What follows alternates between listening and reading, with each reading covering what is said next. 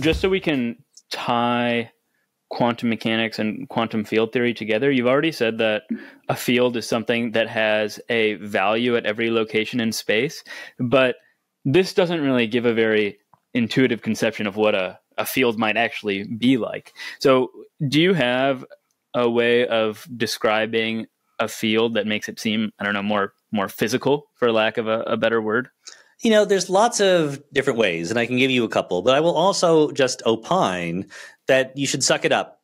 that you should really come to terms with the claim that what a field is is something that has a value at every point in space time. That's really what fields are. You can don't let the metaphors or the analogies have too much of a grip on you. Of course, there are many of them. If you go out to the ocean or to a lake and you see waves on the surface, the height of the wave above the average water level is a function of where you are, right? That's a field. It has a different value at every point.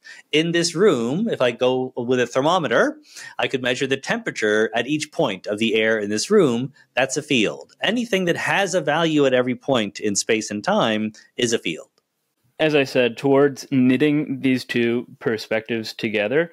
In quantum mechanics, the wave function governs particle configurations.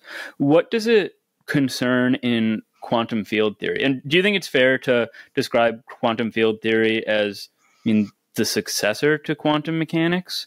Or you just subsume it under quantum mechanics? Quantum field theory is a kind of quantum mechanics. It is quantum mechanics applied to fields rather than to particles.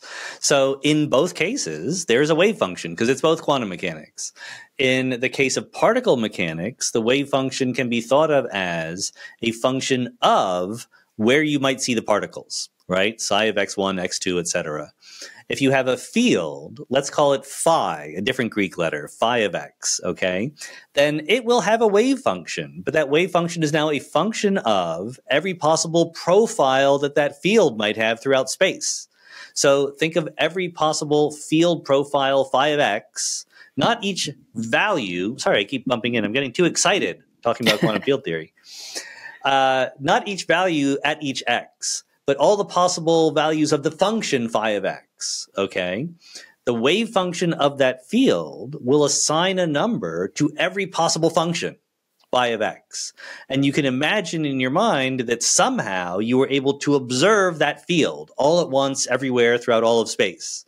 And then the wave function of that field would tell you the probability of getting different measurement outcomes for that measurement.